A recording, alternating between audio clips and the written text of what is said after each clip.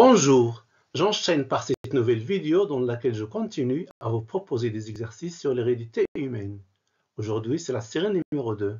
Vous trouverez euh, les liens de téléchargement de ces séries d'exercices en PDF en dessous de votre écran dans la description de la vidéo. Exercice numéro 1. Cochez la bonne réponse. Première question. Dans le cas d'une maladie autosomique récessive, un couple de porteurs sains va transmettre la maladie à 100% des garçons et 0% des filles, 25% des garçons et 75% des filles, 25% des garçons et 25% des filles, ou 12,5% des garçons et 12,5% des filles. Alors pour répondre à cette question, et pour donc préciser la suggestion correcte, on va faire donc un échiquier de fécondation. On part d'un couple de porteurs sains. Un couple de porteurs sains, ça veut dire tous les deux sont hétérozygotes, le père et la mère, regardez. Couple de porteurs sains,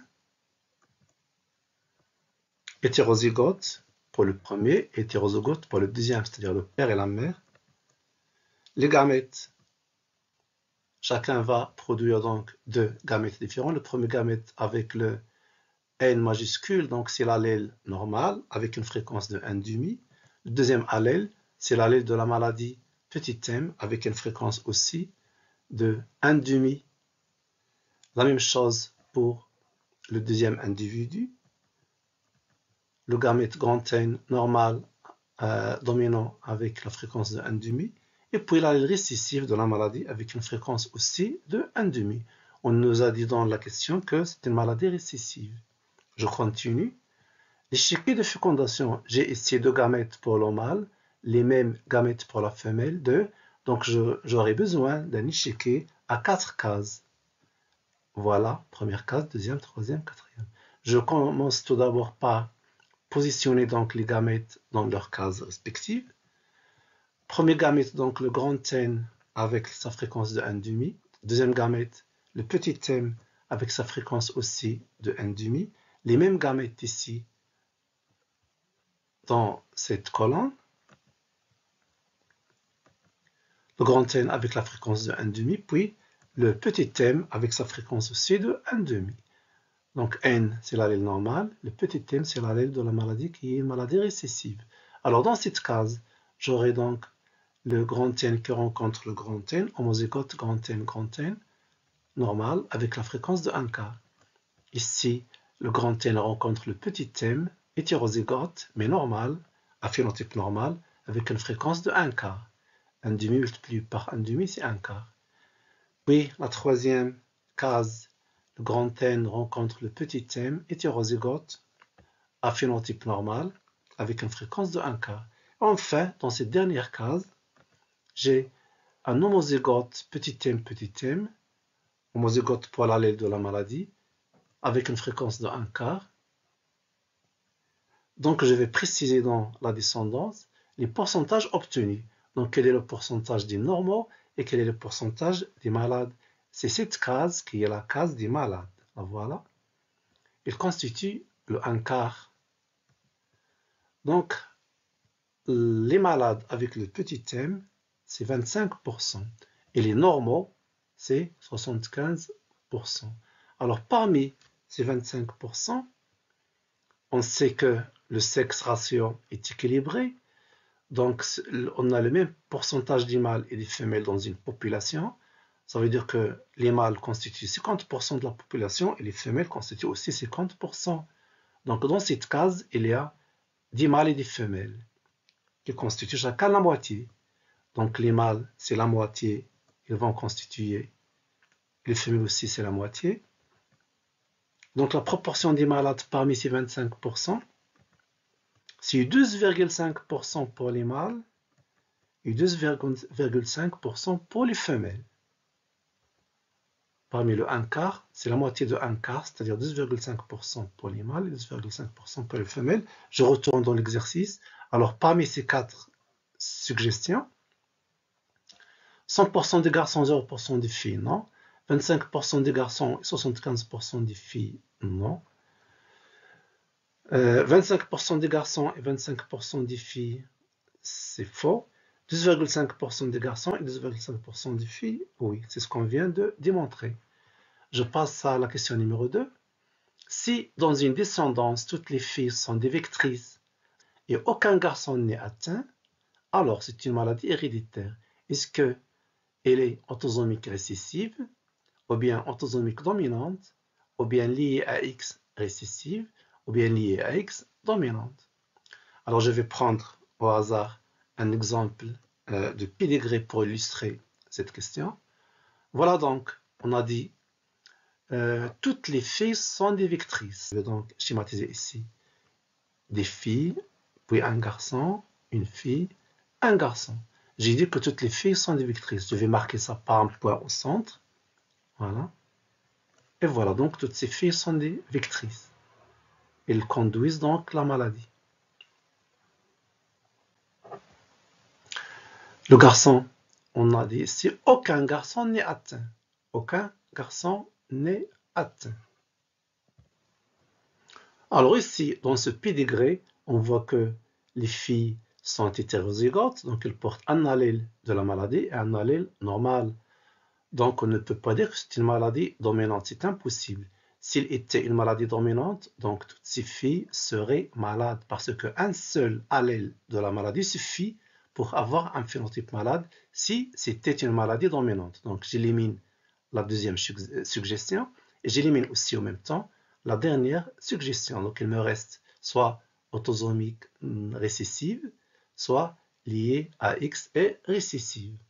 Alors puisque j'ai dit que toutes les filles portent un allèle de la maladie, donc c'est sûr que leur père porte aussi cet allèle de la maladie.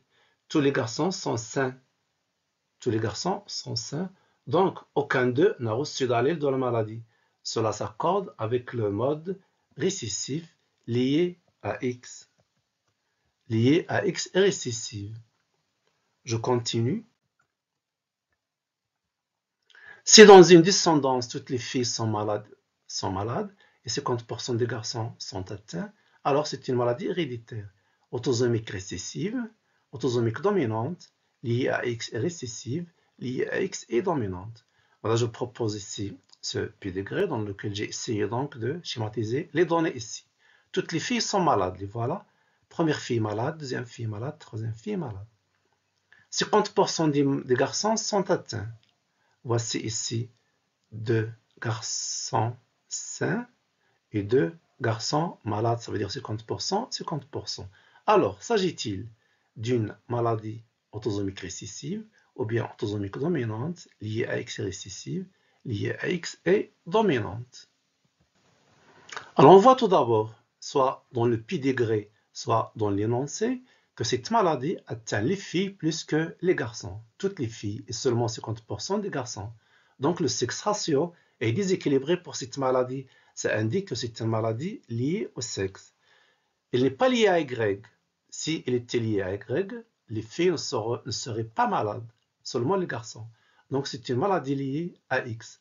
Ça veut dire que je vais éliminer les deux premières propositions qui, euh, qui indiquent une maladie autosomique récessive, autosomique dominante. Non, ce n'est pas autosomique, mais c'est lié à X.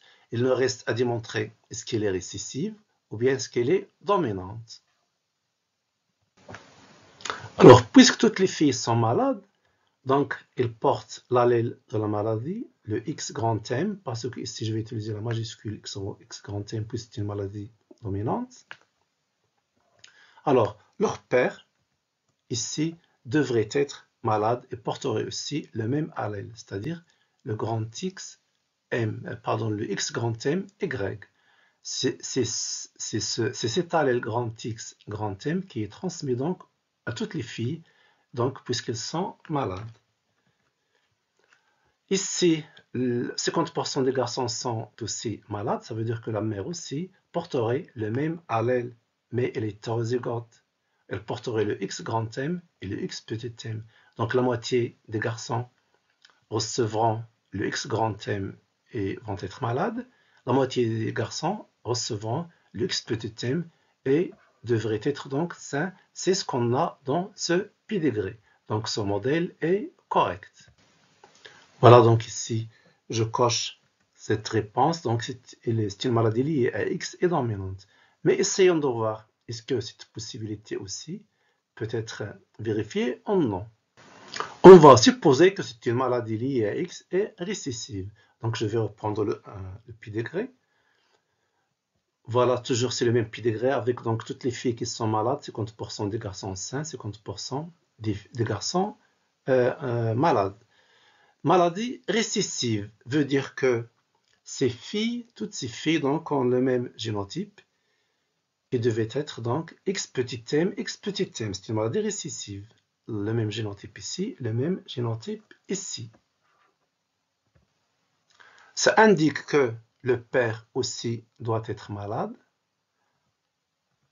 avec un génotype x petit m y.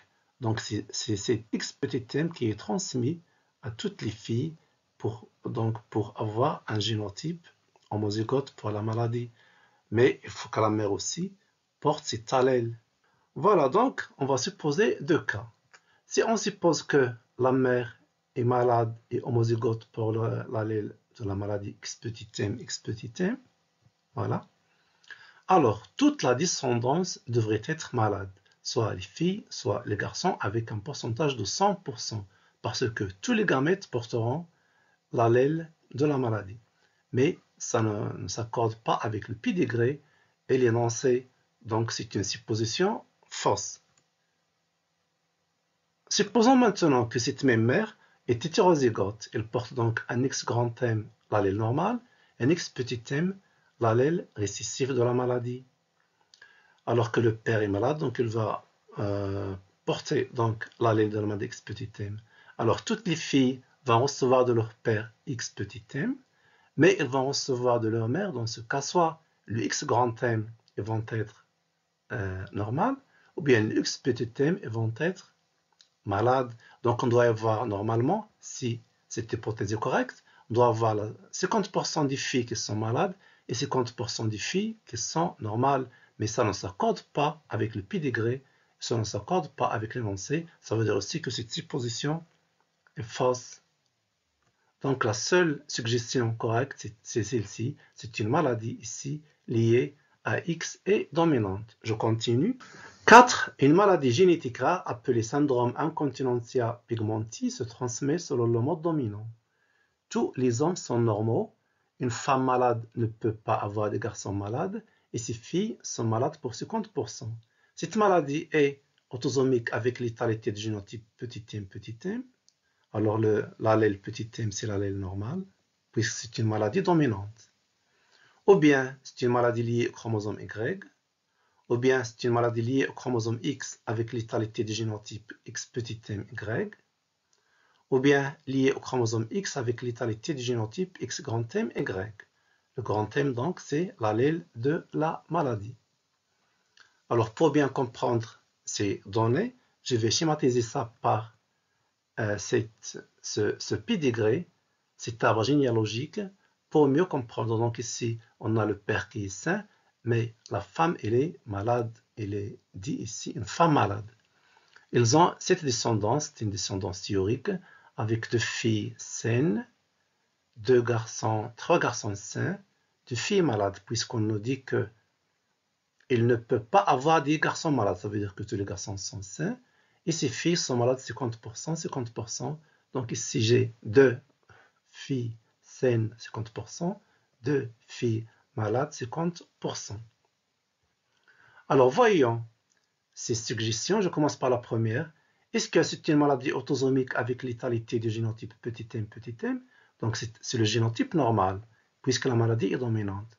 C'est-à-dire que tous les individus qui portent ce génotype vont mourir Non, c'est faux, c'est faux si, euh, si cette maladie est autosomique, donc tous ces sujets qui sont normaux vont porter ce génotype petit m, petit m. Donc c'est une situation, ou bien c'est une suggestion fausse. Lié au chromosome Y, non plus. S'il est lié au chromosome Y, c'est le contraire, ce seront donc les garçons qui seront malades et pas les filles, parce que ce sont les garçons qui ont le chromosome Y. Donc j'élimine les deux suggestions. Maintenant, il me ces deux qui euh, proposent que c'est une maladie liée au chromosome X. Maladie liée au chromosome X. On va donc schématiser les génotypes possibles sur, sur ce pédigré. Cette femme malade aurait donc un génotype X grand M, X petit m. Il ne peut pas avoir X grand M, X grand M. S'il était X grand M, X grand M, toute la descendance serait malade à 100%. Le père Louis, il est sain. Il va porter le X petit m et Greg, puisqu'il est sain, donc il va porter l'allèle normal. Dans ce cas, donc, ces filles vont recevoir de leur père un X petit m et de leur mère soit un X grand m, ils vont être malades, soit un X petit m vont être saines. Donc pour ces filles saines, elles auront le génotype de X petit m, X petit m.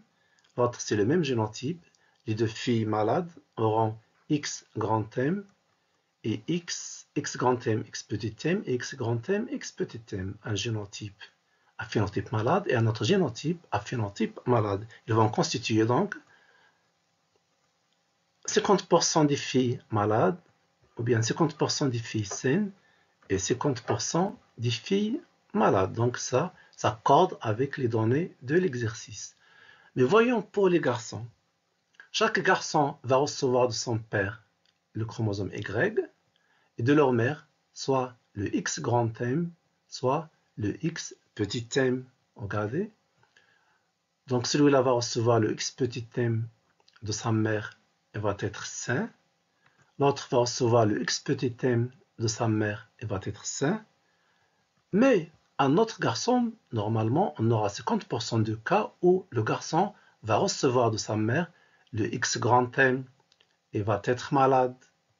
Mais ceci, X grand M Y, cela ne s'accorde pas avec la donnée de l'exercice. Donc on ne peut pas avoir cette, situation. Mais tous les autres génotypes s'accordent. Alors de quoi s'agit-il?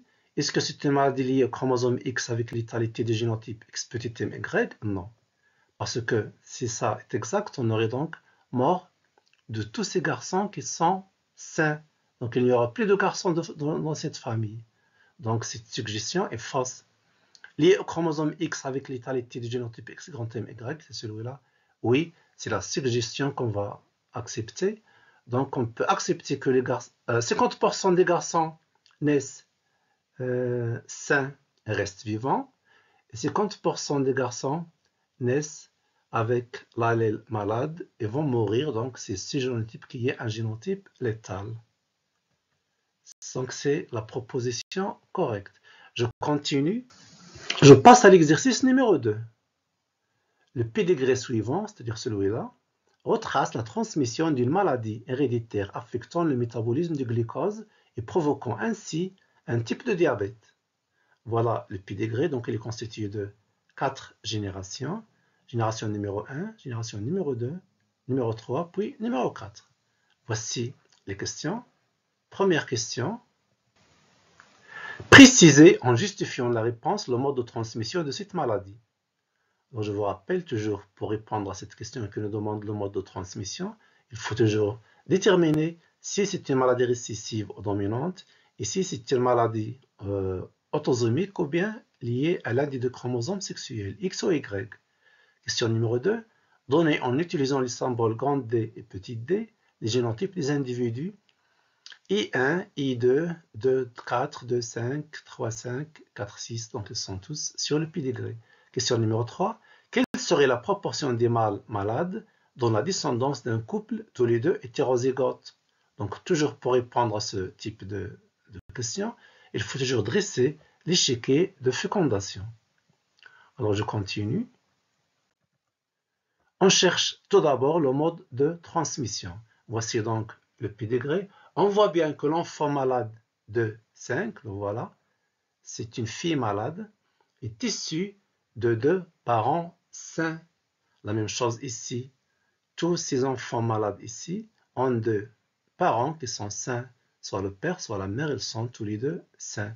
Ça indique donc que c'est une maladie à mode récessif. Voici le premier enfant voici ses parents. L'enfant est malade, ses parents sont sains. Donc c'est une maladie récessive. Pour justifier, on va dire par exemple, par les individus malades comme le 2,5 et 4,1, c'est celui-là, ont des parents sains. Donc sur ce P degré, autre chose, on voit que la maladie peut atteindre soit les femelles, soit les mâles, donc il n'y a aucun déséquilibre du sexe ratio de la maladie apparente dans ce P degré. Donc on peut considérer que c'est une maladie qui n'est pas liée au chromosome sexuel, c'est-à-dire que c'est une maladie autosomique. Oh, on est sûr euh, tout d'abord que c'est une maladie qui n'est pas liée au chromosome Y. Si c'était lié au chromosome Y, on ne peut pas trouver la maladie chez les filles. Elle sera seulement une maladie spécifique au mâle. Et la maladie va se transmettre du père en fils. Ça veut dire que si le fils est malade, son père doit être obligatoirement malade. Mais ce n'est pas le cas ici. Donc ce n'est pas une maladie liée au chromosome Y. Je récapitule. Non liée à l'Y, car maladie commune au mâle et aux femelles. Regardons maintenant est-ce qu'elle est liée à X ou non? Si cette maladie est contrôlée par un gène porté par le chromosome X, cette fille de 5 qui est malade doit avoir un génotype X petit d, X petit d, d étant l'allèle de la maladie. Des deux X petit d qui est l'allèle de la maladie va être obligatoirement donc hérité du père. Et ce père doit être malade. Puisque ce n'est pas le cas, donc ce n'est pas une maladie portée par le chromosome X. Même chose ici pour cet individu, ce garçon 3, 5 qui est sain, alors que sa mère est malade. Si c'était une maladie portée par le chromosome X, cette mère va transmettre à son fils l'un des deux chromosomes qui portent l'allée de la maladie sera à son tour malade. Mais ce n'est pas le cas ici. Donc c'est une maladie autosomique non liée à X. Non liée à l'X, car le mâle 3,5 n'est pas malade. Donc maladie autosomique. Je passe à la question numéro 2. Voilà donc la question numéro 2. On nous demande de donner, en utilisant les symboles grand D et petit d, les génotypes des individus. I1 et 2, c'est-à-dire les premiers parents, les premières générations. De 4 et de 5, ce sont deux de leurs enfants. 3, 5, puis 4, 6. 3, 5 ici, puis 4, 6. C'est le dernier garçon qui est malade. Mais tout d'abord, il faut préciser donc la lettre grande D, la lettre petite d, donc laquelle est dominante, laquelle est récessive on le connaît maintenant. Puisque c'est une maladie récessive, on doit utiliser le symbole minuscule, c'est petit d, car c'est une maladie récessive. Alors pour l'allèle normal, on va utiliser le grand D car elle est dominante. Alors je commence maintenant à donner les génotypes demandés. Premier individu, père ici, elle est normale, mais elle a une fille malade. Ça veut dire quoi? Ça veut dire que son génotype, elle est hétérozygote, donc c'est un porteur sain. Il devait être grand D, petit d. C'est une maladie autosomique, donc on ne va pas utiliser ni X ni Y dans le génotype. Car c'est un porteur sain puisque sa fille est malade. Je passe au deuxième, individu, c'est cette mère, grand 1 2. La même chose ici, puisque sa fille est malade, donc elle est obligatoirement hétérozygote porteuse saine. Car c'est un porteur sain puisque sa fille est malade. L'individu. Donc ici j'ai dit un porteur sain parce qu'il s'agit de, l'individu. Ce n'est pas donc une femelle. Si c'était une femelle, je vais dire c'est une porteuse saine. Alors le 2-4, le 2-4, elle est ici, c'est cette fille. Alors elle est saine, mais elle a deux possibilités. C'est ce soit grand D, grand D, homozygote pour l'allèle normale, ou bien le grand D, petit d, l'hétérozygote. Puisque ces deux parents sont hétérozygotes, donc il peut hériter soit l'allèle normal ou bien l'allèle hmm, de la maladie, soit chez son père ou bien chez sa mère. Donc il y a deux possibilités, le grand D, le grand D, ou bien le grand D, petit d, car c'est un sujet sain mais ses parents sont des vecteurs au porteur sain hétérozygote. Chacun peut lui transmettre soit le grand D, soit le petit d. Et non pas le petit d à la fois. C'est-à-dire si son père lui transmet le grand D, la mère va transmettre le petit d. Si son père lui a transmis le petit d, c'est sa mère qui va lui transmettre donc le grand D. Je continue pour les autres individus. Alors l'individu de 5, c'est cet individu. Donc c'est une femelle atteinte de cette maladie, puisque la maladie est récessive. Elle aura donc un génotype homozygote pour l'allèle de la maladie DD minuscule, car c'est un sujet malade. Je continue. L'individu 3-5, le voilà, donc c'est ce garçon. 3, 5. Regardez, donc sa mère, sa mère est malade, son père est sain. Donc elle va recevoir obligatoirement un allèle de la maladie de sa mère et un allèle sain de son père. Il sera donc hétérozygote, porteur sain aussi, grand D, petit d. Donc sa mère serait petit d, petit d, son père serait grand D, grand d. Il reçoit petit d de sa mère, grand D de son père. On suppose que celui-ci n'est pas un porteur sain, aucun de ses enfants n'est malade. Regardez, donc toute la descendance est saine. Ça veut dire que son mari est euh, probablement homozygote, grand D, grand D. Il n'est pas hétérozygote. Il me reste maintenant cet individu, c'est le dernier, c'est celui-là, c'est un individu malade, c'est un garçon malade, donc son génotype est sûrement petit d, petit d homozygote, car c'est un sujet malade. Je continue maintenant, j'arrive à une autre question dans l'exercice. Quelle serait la proportion des mâles malades dans la descendance d'un couple, tous les deux hétérozygotes? Alors pour répondre à la question, on doit faire donc l'échiquier de fécondation, l'interprétation chromosomique des résultats. Donc, je vais mentionner tout d'abord les phénotypes des parents. Ils sont tous les deux sains, mais porteurs sains. Donc, grand D pour le mâle, grand D pour la femelle. C'est-à-dire phénotype normal, phénotype normal. Les génotypes seront hétérozygotes tous les deux. Voilà, porteurs sains, porteurs sains. Chacun va produire deux types de gamètes différents, grand D et petit d, pour des proportions de 1 demi, 1 demi. Le deuxième individu, c'est la même chose, deux types de gamètes différents avec les mêmes fréquences de 1 demi, 1 demi. Donc j'ai ici deux gamètes pour le mâle, deux gamètes pour la femelle. J'aurai quatre possibilités de fécondation. Je vais donc rédiger ici l'échiquier de fécondation avec quatre cases, les voilà. Donc je vais préciser ici les gamètes que j'ai l'allèle grand D avec sa fréquence de 1,5, puis l'allèle petit d avec sa fréquence de 1,5, les mêmes gamètes ici sur cette colonne, grand D 1,5 et petit d 1,5. Je complète les cases de fécondation. Ici, il y aura rencontre de deux allèles normaux, grand D et grand D, avec un phénotype normal de grand D et avec une fréquence de 1 quart, 4 cases, chacune constitue un quart. Deuxième case, rencontre d'un grand D et d'un petit d. Donc on obtient un génotype hétérozygote, mais à phénotype normal et avec une fréquence de 1 quart. La même euh, fréquence et le même phénotype ici. Phénotype normal avec la fréquence de 1 quart. Alors que dans cette dernière case, il y aura rencontre d'un petit d et d'un autre petit d homozygote récessif. Donc le phénotype serait malade avec une fréquence de 1 quart. Alors la question, quelle serait la proportion des mâles malades dans la descendance? C'est cette case qui constitue la descendance malade. La voilà, petit d. Donc cette case contient normalement les mâles et les femelles avec une même proportion. Proportion des descendants malades, c'est 25%, c'est-à-dire un quart. Mais si je cherche les mâles, les mâles vont constituer la moitié de cette proportion. Et l'autre moitié sera donc euh, constituée par des femelles. Proportion des mâles malades dans la descendance, donc c'est 25% divisé par 2, c'est 12,5%. Je continue.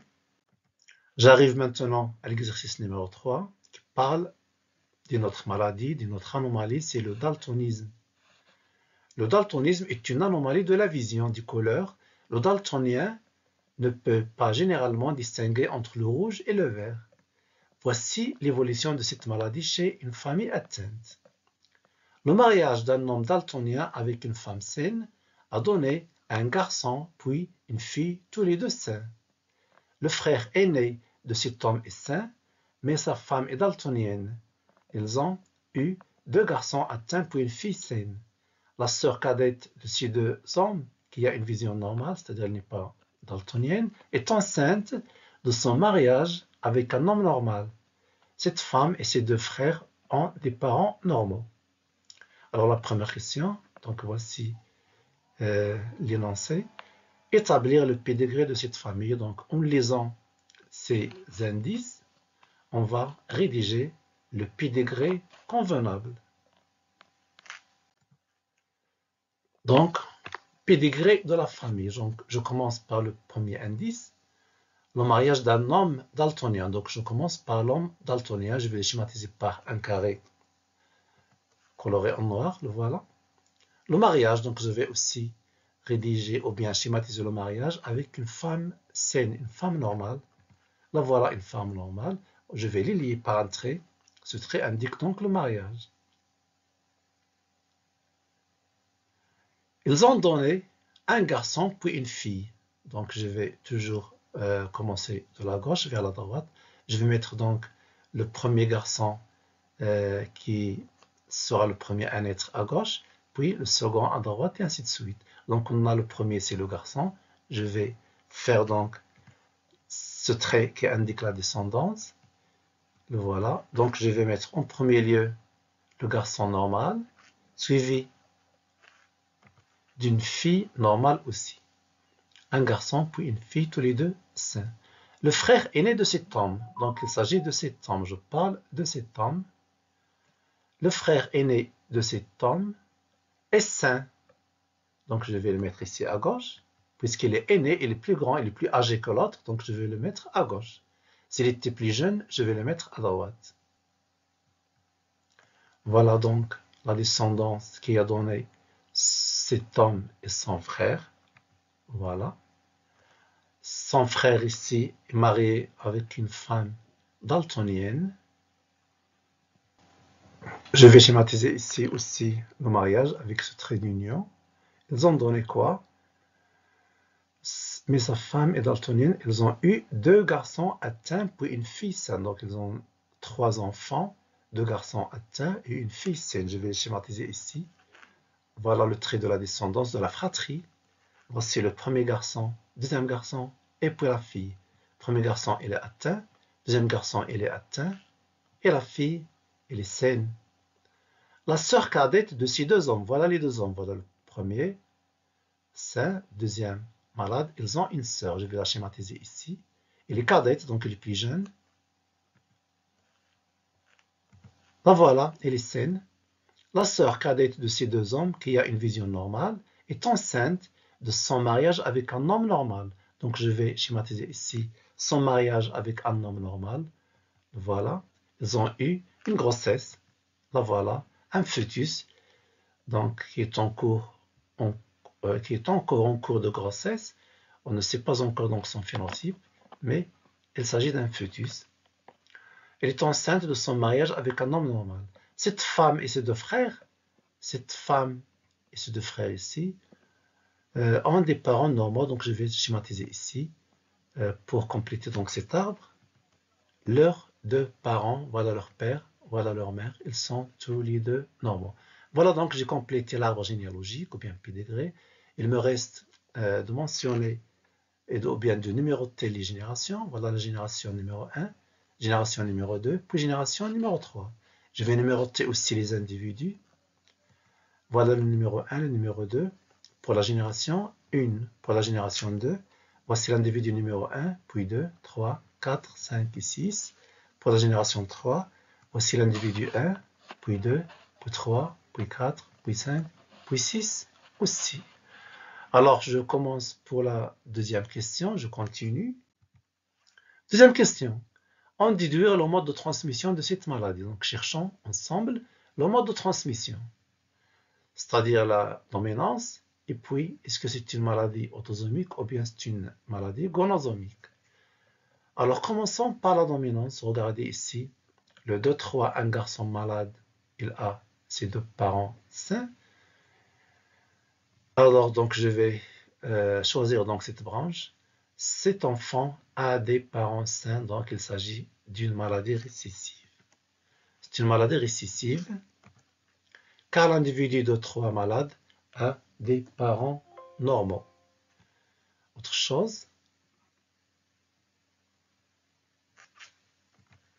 maladie liée à l'X. On va voir la justification. D'abord, il n'est pas lié à Y, puisqu'il atteint des mâles et des femelles. S'il est lié à Y, c'est une maladie qui va donc caractériser seulement les mâles, les garçons. Maladie liée à l'X. Regardez, je vais choisir cette branche. Car proportion des mâles atteints plus grande que les proportions des femelles atteintes. Vous voyez ici trois mâles pour une femelle. Si je traduis ça en pourcentage, j'aurai un grand pourcentage des mâles qui sont malades au dépend d'un petit pourcentage pour les femelles. Donc on dit que le sexe ratio de la maladie est déséquilibré en faveur donc des mâles. Si je choisis cette branche de cet arbre généalogique, on voit nettement quelque chose d'intéressant, c'est que cette femme malade a transmis la maladie aux garçons avec une proportion de 100%. C'est-à-dire que tous les garçons de cette fratrie sont malades, ils ont hérité la maladie de leur mère. Hérédité mère-fils, ça caractérise une maladie liée à l'X. Hérédité mère-fils, la mère transmet la maladie à ses, à ses fils. Je continue, je passe à la question numéro 3. Déterminer les génotypes possibles avec des exemples de pédigré. Voici toujours le pédigré qu'on vient donc de, euh, de réaliser. Voici un tableau dans lequel on va mentionner les génotypes correspondant aux phénotypes normaux et je vais euh, citer des exemples pris de ce pédigré. Je commence par les mâles. On a deux phénotypes possibles. C'est soit normal, grande D, c'est soit daltonien, petite d. C'est le normal, pour le mâle, il n'y a qu'un seul génotype. Il doit être X grande D et Y le grand D, c'est l'allèle normal. Alors, des exemples à partir du pi degré, des hommes normaux, par exemple le père 1, 1, il est normal. Cet enfant 2, 2, il est normal. 2, 6, il est normal. Donc, je vais prendre ici, par exemple, comme exemple, le 1, 1, puis le 2, 6. Alors que si on a un phénotype daltonien pour le mâle, on aura un génotype qui porte l'allèle de la maladie. X petit d, Y. Mâle, malade. Exemple, le 2-3, le 3-1, le 3-2, 2-3, 3-1. Je passe maintenant aux femelles. On a trois génotypes possibles. Deux génotypes pour le phénotype normal et un seul génotype pour le phénotype anormal. Alors, si le phénotype est normal, on a deux possibilités. Soit un génotype hétérozygote, soit un génotype homozygote pour l'allèle normal. Regardez. C'est soit homozygote pour l'allèle normal, x grand D, x grand D. On va prendre dans le pédigré comme exemple. Peut-être le 2-4, on n'est pas si sûr. Le 2, 4, ici cette femme est normale on ne peut pas, euh, euh, on n'est pas sûr si elle est tout à fait hum, homozygote pour le grand D, mais si je vois sa descendance, si deux enfants sont tous normaux, on ne peut pas juger pour simplement moins deux enfants. S'il y avait plus d'enfants, ce serait l'idéal, mais quand même, on peut dire que sa descendance est normale, donc elle aussi, elle serait généralement normale. Ou bien, avec le phénotype normal, on peut avoir aussi un génotype euh, hétérozygote, X grand D, X petit d, c'est-à-dire une femme vectrice. Une femme vectrice. On va prendre comme exemple cette mère ici, I2, qui a conduit la maladie à son fils. Donc c'est une vectrice. Ou bien la femme peut être daltonienne, c'est le cas ici, 2, 1. Dans dans ce cas, les deux X portent les deux allèles de la maladie homozygote pour la maladie X petit d, X petit d. Et l'exemple ici, comme je viens de dire, c'est le 2, 1. Je continue, je passe à une autre question. Quelle est la probabilité d'apparition de cette anomalie chez le fœtus de la femme enceinte? Si elle est porteuse Alors toujours pour donc calculer ces probabilités ou bien ces proportions ou bien ces pourcentages, il faut rédiger un échiquier. Ça va faciliter donc la réponse à cette question. Le génotype c'est X grand D, X petit D pour le mâle, elle est, euh, pardon, pour la femelle, elle est hétérozygote, donc le 2,5 c'est la femelle, et le 2,6 c'est le mâle, qui a donc un X grand D, Y. Les gamètes, chacun va produire deux types différents de gamètes avec des fréquences toujours de 1,5, 1,5. Ici, deux types de gamètes aussi avec les mêmes fréquences de 1,5, 1,5 un gamète qui porte le X un autre gamète qui porte le Y. Deux gamètes pour la femelle, deux gamètes pour le mâle. J'aurai donc quatre possibilités différentes pour la fécondation. Je vais les schématiser sous forme d'un échiquier de fécondation. Le voilà. Je vais citer ici ou bien mentionner les gamètes euh, de la femelle par exemple, le X D et le X d avec leur fréquence de 1,5, 1,5. Ici, les gamètes du mâle, le X D avec sa fréquence de 1,5 et le Y avec sa fréquence de 1,5. Je vais compléter les cases de fécondation. Ici, rencontre de X de 2X grand D avec une femelle et un phénotype normal avec une fréquence de 1 quart. Deuxième case, rencontre de X D et X d, donc un génotype C'est toujours une femelle avec un phénotype normal aussi et une fréquence de 1 quart. Troisième case, rencontre de x grand D et y. x grand D et y, c'est un mâle cette fois-ci, normal, avec une fréquence de 1 quart. Dernière case, rencontre d'un x petit d et y. Voilà, c'est un mâle aussi, mais cette fois-ci avec un phénotype anormal, malade, avec une fréquence aussi de 1 quart. Alors, on, nous demande de calculer la probabilité de cette maladie chez le fœtus. Donc la case qui est malade parmi ces quatre cases, c'est celle-ci, avec le petit d, c'est la case de la maladie, il constitue un quart. Donc toute la génération, ou bien la génération, aura 25% des individus malades. Proportion des descendants malades, c'est 25%. Toutes ces cases, ce sont des mâles. Donc, j'ai ici deux cases des mâles. 50% des mâles seront normaux et 50% des mâles seront malades. Proportion des femelles malades, regardez, toutes les cases des femelles sont normales, donc il n'y a aucune case malade, c'est 0%. Voilà, j'arrive à la fin de cette vidéo. Euh, dans la vidéo prochaine, je vais essayer de terminer les autres exercices qui nous restent. Sur ça, donc, je vous dis au revoir et à la prochaine vidéo.